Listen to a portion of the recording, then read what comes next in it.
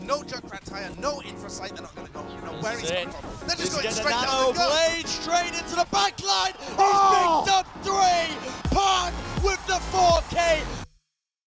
Patiphan now, Meteor Strike going in, Bash down. already down is a big problem. Trades it back at least, trades it back double. Zoha's still in the mix as well, but without Bashful, Patiphan's got to do it all himself. But my god, he, He can!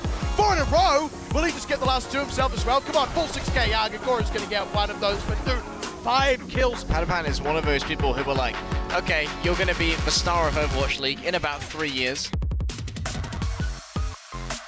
Look at all those shots. I'm glad someone caught it. Bam! Ah! Sit down. Villanyo goes down after the bubble expires. Now he lines up his shot. Gagora's going to get forced out of the mech. I believe Patiphan even does the honors, Oh then finds the pilot God. form. Then he's going to find the support, starts it off with Aquila, with the melee as Oh. well. This guy is an absolute wizard. Is there anything this guy can't do? Down to the Damn. headshots. Ow! He gets the D-Mic there as well, or something. I mean, somebody gets hit. this guy's incredible, and did you ever doubt him? For me, it's always about Patiphan. That It is, guy's right? so good. Who about it?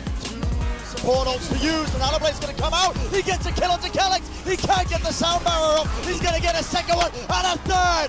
Park, you absolute madman. I mean, a lot of people becoming Patty fans uh, after seeing his performances. This guy has just been phenomenal. It's so unfortunate how young he is because so many people would love to see him in the Overwatch League. Patiphan's go- just going to clean up now. How does this lad do it? Oh my word, Patiphan! The triple kill!